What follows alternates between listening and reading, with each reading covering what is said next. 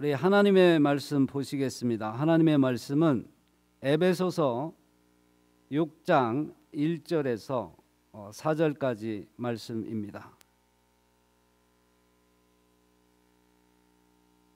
제가 봉독하겠습니다. 자녀들아 주 안에서 너희 부모에게 순종하라 이것이 옳으니라 내 아버지와 어머니를 공경하라 이것은 약속 있는 첫 계명이니 이로써 내가 잘 되고 땅에서 장수하리라 또 아비들아 너희 자녀를 노엽게 하지 말고 오직 주의 교훈과 훈계로 양육하라 아멘 에베소서 6장 1절에서 4절 말씀을 아, 두 주에 걸쳐서 강해하고자 하는데요.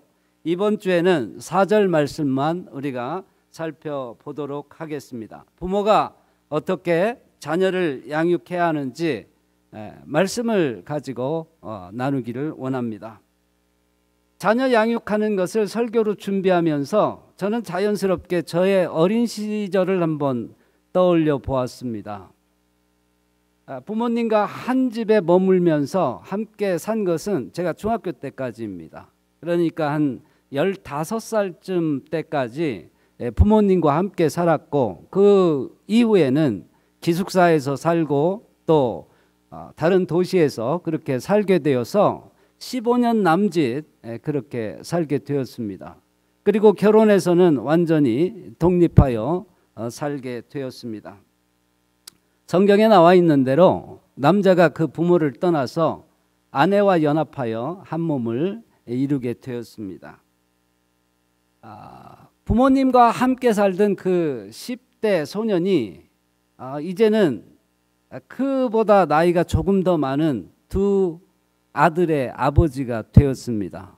세월이 참 빠른 것 같기도 하고 어, 어떤 면에서는 아, 뭣도 모르면서 자식을 낳아서 20년 넘게 키워왔다는 생각도 들었습니다.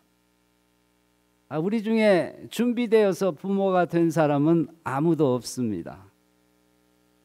아, 그래도 우리가 살고 있는 이 서구권이나 한국은 이제 결혼 연령이 좀 늦어졌지 않습니까? 그래서 뭐 정신적으로나 신체적으로나 아니면 또 경제적으로 또 세상의 여러 가지 일들을 겪으면서 여러 가지 경험, 경험을 통해서 그래도 좀 부모 되기에 좀 나은 면이 있는 것이 사실입니다.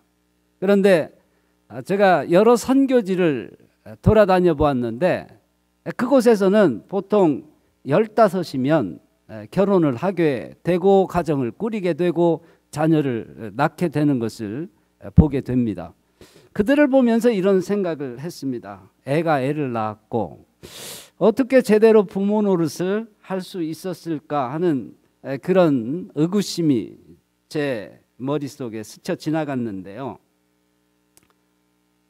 우리가 아, 좀 더 배우고 좀더 어, 경험을 쌓고 그러면 아, 부모 노릇하기 좀 나아지는 것일까? 또 그런 생각도 해봤어요. 과연 그런 것일까요? 우리가 제대로 방향을 잡아 나가서 자녀들을 키우려고 하면 아, 뭐 성경 말씀으로 돌아가서 어, 몇 가지 배우는 게 차라리 아, 우리의 가정을 바로 세우고 자녀들을 바로 양육할 수 있겠다 그런 결론에 도달했습니다. 오늘 우리가 읽은 사전 말씀에서 우리는 몇 가지 배울 수 있기를 바랍니다. 첫째, 우리의 자녀가 누구에게 속했는지 분명히 알아야 우리가 우리의 자녀들을 양육할 수 있다고 하는 것입니다. 제대로 양육할 수 있죠. 4절에서 보면 두 개의 소유 인칭 대명사의 주의를 여러분 기울이시기를 바랍니다. 4절 말씀을 여러분 보시기를 바랍니다. 또 아비들아 너희 이게 소유 인칭 대명사죠. 우리의 쉽게 바꿔 말하면 우리의 자녀들을 우리가 노엽게 하지 말라는 거죠. 너희 자녀를 노엽게 하지 말고 오직 주의 주님에게 속한 어떤 것이 있다는 거죠. 주의 교훈과 훈계로 양육하라 그렇게 말을 하고 있습니다. 우리가 이 본문을 보면서 자녀가 온전히 우리의 것이라고 한다면 이 문장은 이렇게 구성이 돼야 됩니다. 아비들아 너희 자녀를 노엽게 하지 말고 오직 너희의 교훈과 훈계로 양육하라. 자식이 우리의 것이라면 우리의 교훈과 우리의 훈계로 양육하는 것이 마땅합니다. 그런데 여기는 주애라고 되어 있습니다. 여러분 주라고 하는 말은 보통 말이 아니잖아요. 주는 주라는 말이 무슨 뜻입니까? 주님이라는 뜻이잖아요. 이 말은 나도 내 자녀도 주님께 속했다는 것입니다. 하나님이 우리에게 자녀를 주셔서 우리의 자녀가 되었지만 특별한 관계죠. 우리와 특별한 관계지만 내용상 그들은 어떻게 자라야 됩니까? 주님의 교훈과 훈계로 양육이 되어야 합니다. 왜냐하면 우리도 주님께 속했고 우리의 자녀도 주님께 속했기 때문에 그렇습니다. 아멘. 우리와 우리의 자녀들이 누구에게 속했다고요? 주님께 속했습니다. 우리가 이 부분을 명확하게 해야 우리는 우리의 자녀들을 제대로 양육할 수 있다고 하는 것입니다. 아, 시편 127편 3절은 이렇게 말합니다. 보라 자식들은 여호와의 기업이요 태 열매는 그의 상급이로다. 아, 다이 성경 말씀이 말하는 것이 무엇입니까?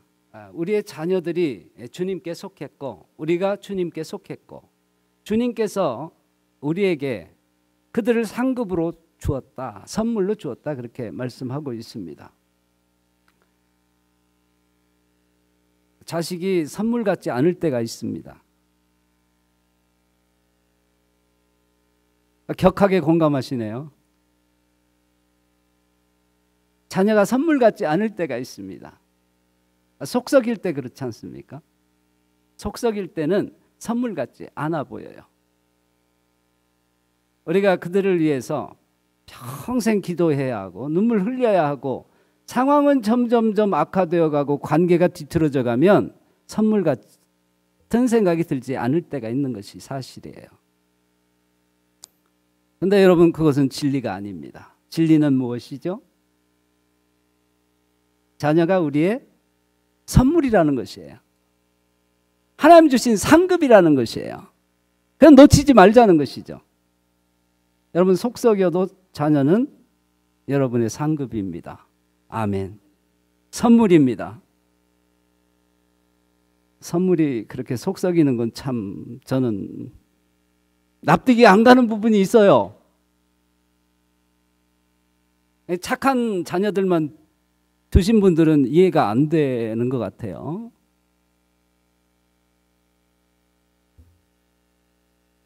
때로는 우리에게 납득이 안 됩니다. 때로는 관계가 너무 뒤틀려서 어, 이것을 어떻게 풀질 모르고 답답할 때가 있습니다. 내 욕심만큼 성과를 못 낼 때도 있고요. 내 욕심만큼 예의 바르지 못할 수도 있고요. 내 욕심만큼 그렇게 정말 아름다운 모습이 아닐 때 우리는 선물로 여겨지지 않을 수 있다는 것입니다. 그러나 여호와께서는 여전히 말씀하십니다. 내가 너에게 준 선물이다. 그래야 여러분 자녀에 대해 소망 가질 수 있습니다. 내 자녀가 하나님께 속한 것을 알 때 우리는 낙심하지 아니하고 기도할 수 있습니다. 그들을 위하여 끊임없이 축복할 수 있습니다. 여러분 어떤 상황에서든지 자녀 저주하지 마십시오. 선물을 저주하면 선물 주신 분이 심히 서운해 하십니다. 너는 도대체 누구 닮아서 누구 닮긴 누구 닮겠어요. 자기 안 닮으면 뭐. 사랑하는 여러분, 자녀가 선물인 거 놓치지 마십시오. 하나님께서 복 주시려고 우리에게 주셨습니다.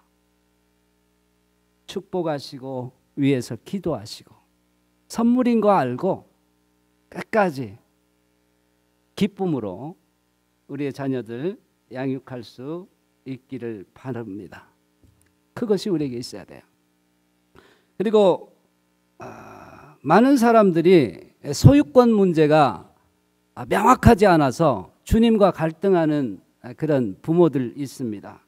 자녀가 하나님의 것이고 또 내가 하나님의 것인데 내 소유권을 너무 내세워서 문제라고 하는 것입니다. 우리가 자녀에게 자녀가 우리에게 오는 방법이 특별해서 우리는 각별한 마음을 가질 수밖에 없는 것이 사실입니다. 산고라고 하는 그 엄청난 특별하고도 엄청나고도 우리를 찢어내는 고통 가운데 우리 아이들이 우리에 오기 때문에 모성은 더더구나 특별한 것 같습니다. 그래서 아이에게 집착하고 아이를 그렇게 자기를 이입시켜서 어, 그렇게 키워내려고 하는 것이 아닌가 생각을 하게 됩니다. 지금이야 의료 시설이 좋아서 어, 아이를 낳는데 그렇게 어렵지 않잖아요. 그리고 목숨을 잃는 경우가 많지 않지만 저희 어머니만 해도 그냥 집에서 그렇게 외할머니의 도움을 받아서 집에서 팔남매를 다 낳으셨습니다. 그런 분들의 이야기를 들어보면 아이를 낳을 때 내가 아이를 낳으면서 정말 다시 벗어놓은 신발을 신을 수 있을까? 그런 이야기 하는 것들을 저는 어려서부터 많이 들어봤습니다. 어머님께도 들어봤고요. 할머니들께도 들어봤습니다. 목숨을 내놓지 않으면 사랑하는 아이들을 받을 수 없는 것이 얼마 전까지만 해도 우리들의 삶 가운데 있었다고 하는 것입니다. 또 키우는 과정이 얼마나 특별합니까? 아이를 키우는 데 있어서 자기 전 존재를 쏟아붓지 않고 아이를 키우는 부모 있습니까? 아이는 그냥 대충 키워지는 게 아닙니다. 우리를 쏟아붓지 않으면 아이들은 잘 자랄 수가 없습니다. 저는 대신 아팠으면 좋겠다고 하는 생각이 드는 게 자식들이 아플 때 그런 생각이 막 들더라고요. 대신 아팠으면 좋겠다. 그리고 대신 죽을 수 있다고 하는 생각이 든 게 자식을 위해서라면 대신 죽을 수 있겠다. 그런 생각이 들더라고요. 지금은 조금 성숙해서요. 와이프를 위해서도 죽을 수 있어요.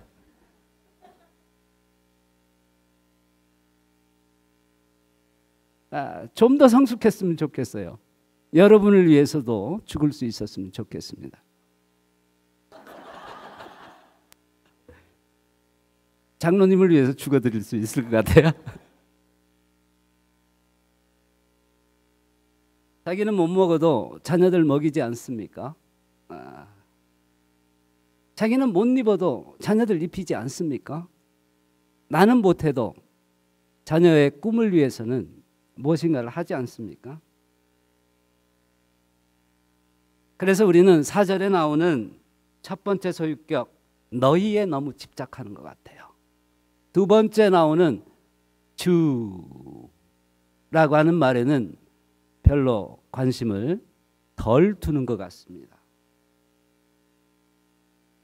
자식 앞에서는 주라는 말이 멸시와 천대를 받을 때가 너무 많지 않습니까? 그러면 우리 한번 입장을 바꿔놓고 생각해 볼까요? 우리가 우리 자녀를 얻는 거 산고를 통해서 그리고 또 키우는 거 우리의 전심 전력을 다해서 키우는데요. 그래서 우리는 우리 자녀를 포기할 수 없는 가치라고 말하고 우리의 모든 것을 걸지 않습니까? 근데 하나님은 더 하시지 않습니까? 우리를 포기하지 않기 위해서 우리를 놓칠 수 없어서 그 아들이 십자가에서 죽어야 했습니다.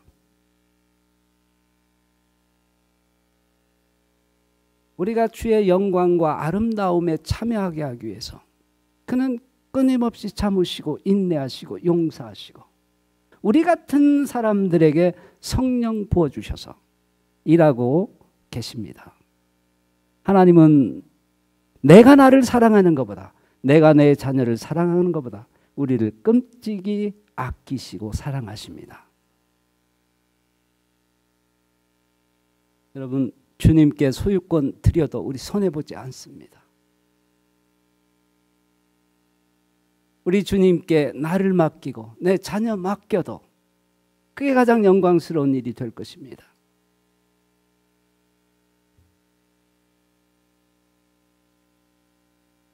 아, 소유권 문제에서 가장 골치 아픈 사람이 누군 줄 아십니까? 자기의 삶이 자기 거라고 말해요. 그리고 자기 자녀의 삶은 자기 자녀의 것이 아니고 자기 것이라고 또 얘기해요. 얼마나 골치 아픈지 몰라요. 주님의 주권도 인정하지 않으면서 자식에 대한 자기의 소유권은 철저하게 인정해요. 그래서 내 말 안 들으면 안 되고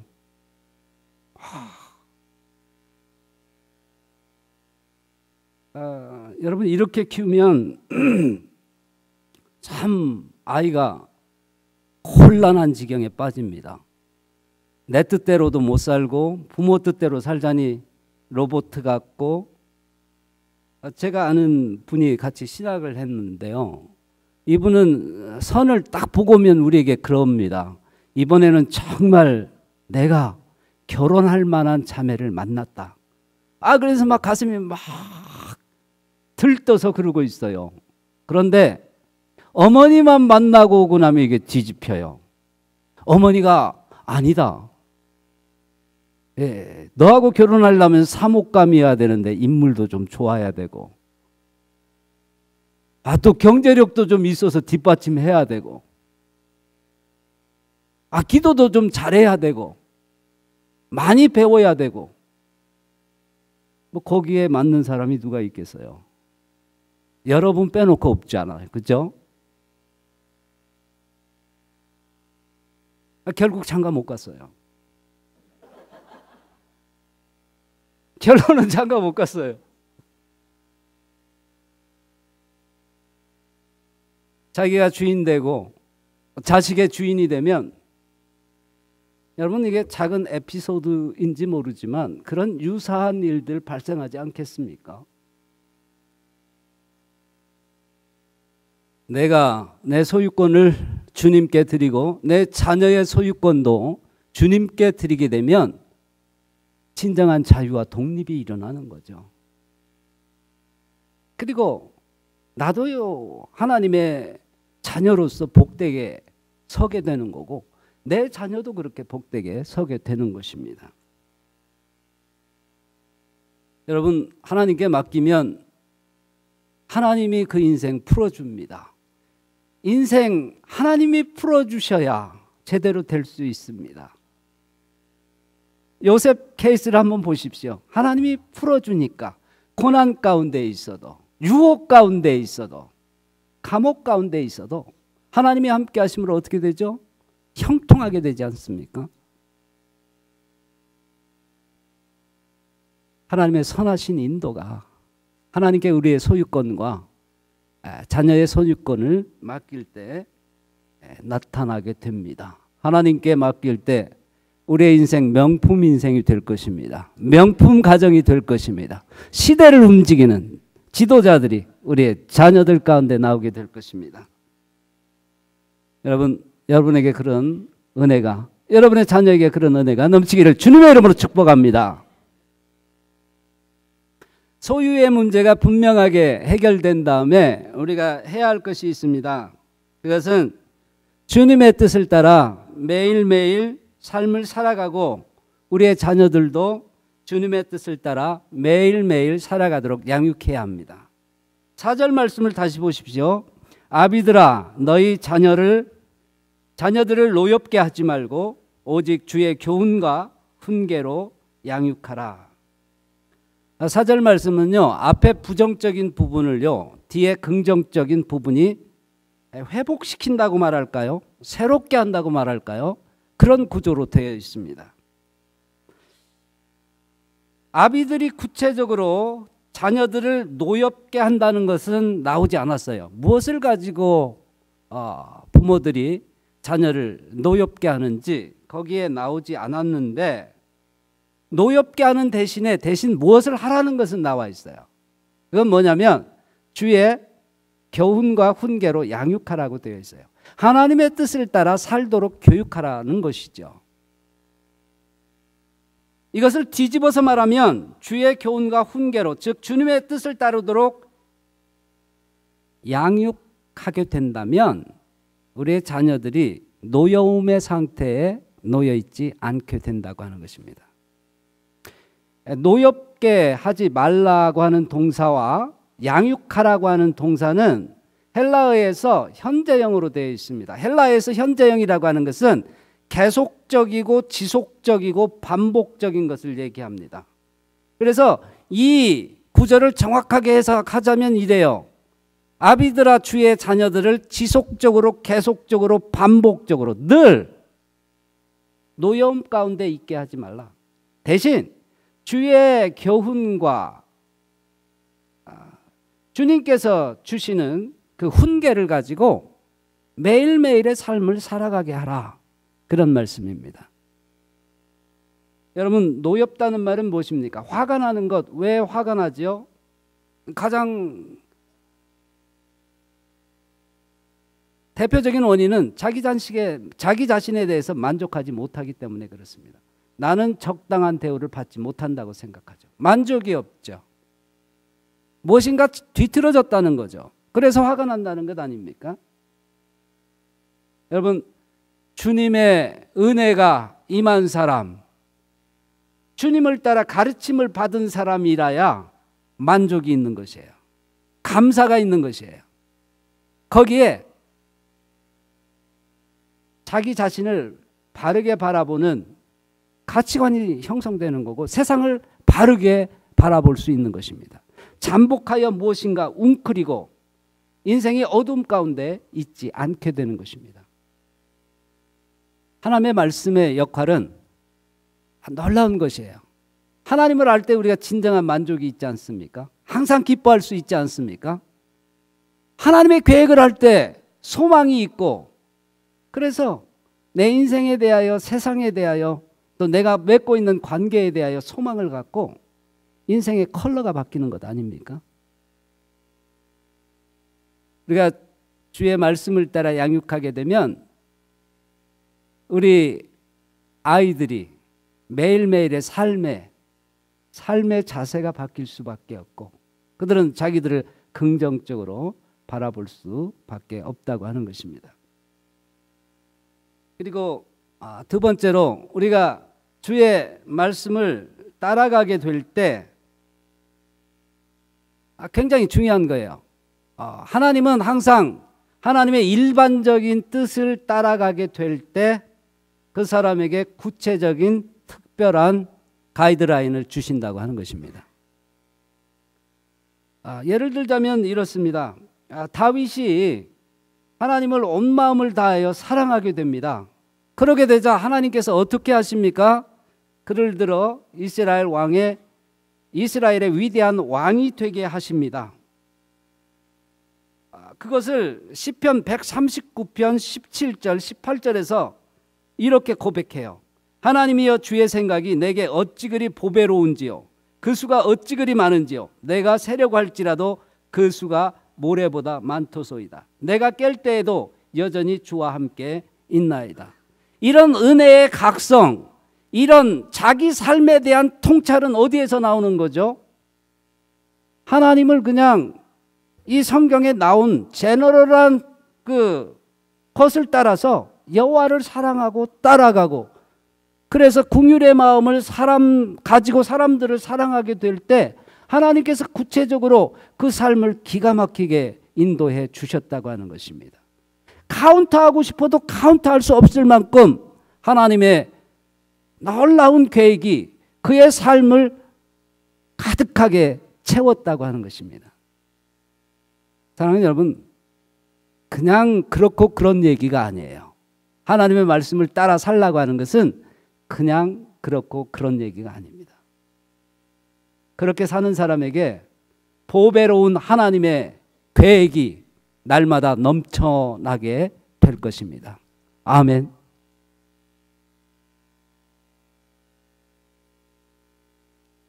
또 주의 말씀을 따라 살게 되면 우리와 우리의 자녀들이 세상을 이기고 승리하게 될 것입니다. 여러분 세상적인 가치가 얼마나 판을 치고 있습니까? 국가가 그것을 승인하려고 하는 그런 처지에 놓여 있지 않습니까? 미국에서 이 결혼에 관한 정의를 다루는 부분에 있어서 지금 그것을 가지고 스프림 코트에서 지금 6월이면 결정을 하지 않습니까? 거기에 내부는 보수적인 분이고 내부는 진보적인 분이에요. 어. 그래서 우리가 그걸 위해서 많이 기도하고 있는데 그 중에 하나 케네디라고 하는 판사가 있는데 그 판사는 진보적임에도 불구하고 어, 전통적인 결혼관을 지지하는 그런 발언을 했어요. 그래서 기도하는 크리스찬들이 와 하나님께서 우리의 기도를 들어주셨다. 여러분 그게 이 결혼의 정의만 바꾸어놔도 미국에 어떤 일이 일어나는지 여러분 아시잖아요. 그죠? 벌써 카우니 같은 데서는요. 이 남녀 공용 화장실을 어, 그러니까 남자 여자 화장실을 그렇게 따로 하는 것을 어, 폐지하자 그럽니다. 왜 남성과 여성만 있냐? 어디에서 일어나는 줄 알아요? 페어팩스 카운티에서 지금 그런 일이 일어나고 있어요. 지금은 우리가 생각하는 것보다 훨씬 위험한 시대입니다. 우리 김요한 목사님이 그러세요. 그런 말씀 안 하셨으면 좋겠는데 내가 살면 이제 얼마나 살겠어. 나는 괜찮은데 우리의 자녀들, 우리의 손자들 생각하면 앞이 끔, 끔찍해. 세상이 너무 바뀌게 되어서 주님을 믿고 신실하게 따라가는 게 너무 어렵게 된 세상이 되었다고 말하고 있습니다. 여러분, 우리의 자녀들이 하나님의 말씀 위에 든든하게 서 있게 된다고 한다면 그들이 방패막이 될 것입니다. 그들이 세상을 바꾸어 놓게 될 것입니다. 우리는 우리 가정 안에서 잘 되고 그냥 개인적으로 출세하는 그런 자녀를 우리가 키우기 원하지 않지 않습니까? 무엇인가 세상이 하나님의 영광으로 충만하게 하기 위해서 하나님께서 우리의 자녀를 사용하기를 원치 않습니까? 여러분 그런 강한 하나님의 사람들을 만들어낼 수 있는 방법은 주의 말씀으로 양육하는 수밖에 없습니다. 여러분, 여러분의 자녀들을 세상에 대항하고 세상에 썩어져가는 그 습을 대항하여 하나님의 영광스러움을 세우는 그런 무기들로 세우시기를 주님의 이름으로 축복합니다. 오늘 여러분과 나눈 게 있습니다. 우리가 우리의 자녀 어떻게 양육할 수 있죠? 먼저 분명하게 우리의 우리의 삶과 우리의 자녀의 삶이 하나님의 것이라고 하는 것을 분명히 알고 주인 되신 하나님께 우리를 의탁하고 맡기게 될 때 하나님께서 우리를 복되게 세우실 것입니다. 하나님의 손은 우리의 손보다 크기 때문에 그렇습니다. 하나님의 지혜는 우리의 지혜보다 탁월하기 때문에 그렇습니다. 하나님의 생각은 커서 우리의 생각과 다르기 때문에 그렇습니다. 바다보다 더 넓으신 그 하나님의 측량할 수 없는 지혜와 산보다 더 큰 하나님의 지식이 우리와 함께하게 될 때 여러분 우리의 인생은 복되게 될 것입니다. 소망으로 가득하게 될 것입니다. 여러분의 자녀에게, 여러분의 가정에게 그런 축복이 넘치기를 주님의 이름으로 축복합니다. 여러분, 주님의 뜻을 따라 우리가 살게 되면 깊은 만족 가운데 살아가게 되어 있습니다. 우리의 인생의 컬러가 바뀝니다. 우울했던 사람도, 깊은 시름 가운데 있던 사람도, 하나님의 말씀이 그를 교훈하고, 우리 안에 있는 성령이 세밀한 음성을 들려주시고 격려하게 되면 어떤 일이 발생하게 될까요? 그러면 자기 자신에 대한 만족이 먼저 생겨요. 그렇지 않습니까? 내가 먼저 바뀌지 않습니까? 내가 먼저 바뀌게 될 때 세상을 바꿀 수 있는 능력이 생기는 거예요. 여러분에게 주님으로 말미암은 깊은 만족과 기쁨이 그리고 소망이 넘치시기를 주님의 이름으로 축복합니다. 여러분 하나님의 말씀을 따라가게 되면 일반적인 뜻을 따라가게 되면 우리의 소명을 발견하게 됩니다. 하나님을 사랑하지 않는 사람이 세상을 향한 사랑의 마음이 없는 사람이 특별한 소명 받을 수 있을 것 같아요. 그런 일은 없습니다. 그래서 매일매일 하나님께서 주신 일반적인 뜻을 따라 이 성경을 따라 우리가 살아가고 그리고 우리의 자녀들이 살아가는 게 중요합니다. 여러분 이런 말이 있는 거 아시죠? 그리스도인들은 성경을 통하여 하나님의 뜻을 발견하고 하나님을 만난다. 세상 사람들은 그리스도인들을 보고 그리스도인들을 잊고 하나님을 만난다. 여러분요, 문맹들은 글을 못 읽어요. 근데 그런 사람들은 우리를 보는 눈들은 문맹이 없어요. 우리가 이렇게 하면 무슨 뜻인지 알아요. 우리의 표정만 바뀌어도 우리를 읽어내요. 우리의 자녀들은요, 우리를 읽어내는데 귀재입니다. 아, 어떻게 그렇게 천부적인 재능을 가졌는지 모르겠어요. 다른 것은 가르쳐도 안 되는데 나를 읽어내는 데는 천재예요. 우리 작은 아들이 그래요. 아빠, 왜 이렇게? 아니, 왜? 아빠 기분 나빠? 아닌데. 아니, 아빠 기분 나빠. 왜? 입을 꼭 다물었잖아. 읽어내는데 천재예요. 내가 하나님께 헌신되어 있는지, 하나님의 가치를 따라 살아가는지 읽어냅니다. 여러분, 우리가 다는 못하지만 조금 바뀌었으면 좋겠습니다. 우리를 읽어내는 사람들 있습니다. 그리고 읽어내는 것에서 끝나는 게 아니라 애들은 그대로 또 카피해요. 어떤 때는 아이들이 눈치 못 챘으면 좋겠는데 아, 그런 일은 없어요. 그런 일은 없어요. 여러분 우리의 마음이 하나님께 드려지게 되면 하나님의 보배로운 계획은 우리 삶 속에 놀랍도록 터지고 폭발하고 드러나게 되어 있습니다. 다윗의 삶이 그랬던 것처럼 우리의 삶이 그러기를 바랍니다. 여러분 세상을 이기고 승리하는 동력이 무엇입니까? 주님의 말씀이에요. 주님의 뜻이에요. 여러분 모두 승리하시길 바랍니다. 여러분의 자녀들 승리하기를 주님의 이름으로 축복합니다. 기도하겠습니다. 하나님, 음, 우리를 포기치 아니하시고 우리를 사랑해 주셔서 아들을 십자가에서 죽게 하시고 우리를 얻으셨습니다. 하나님은 지금도 우리를 그냥 그렇고 그런 삶 가운데 두기를 원치 않습니다. 그냥 세상에 묻혀 흘러 떠내려가는 그런 삶이 되기를 원치 않습니다. 그래서 안타까이 우리 안에서 말할 수 없는 탄식으로 성령께서 기도하게 하시고 하늘 보자 우편에서 예수 그리스도께서 기도하게 하셔서 주의 뜻을 쫓아가는 사람이 되게 하십니다. 그것이 우리의 영광이기 때문에 그것이 우리의 소망이기 때문에 간절히 주께서는 우리 가운데서 일하시며 우리를 초청하시며 우리를 격려하십니다.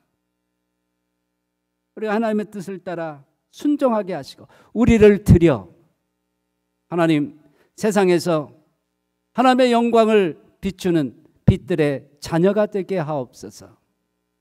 나를 사용하시고 우리의 자녀를 사용하옵소서. 우리 올레이션스 교회를 사용하시고 올레이션스 교회 모든 사랑하는 자녀들을 사용하옵소서. 감사하며 예수 그리스도 이름으로 기도합니다. 아멘.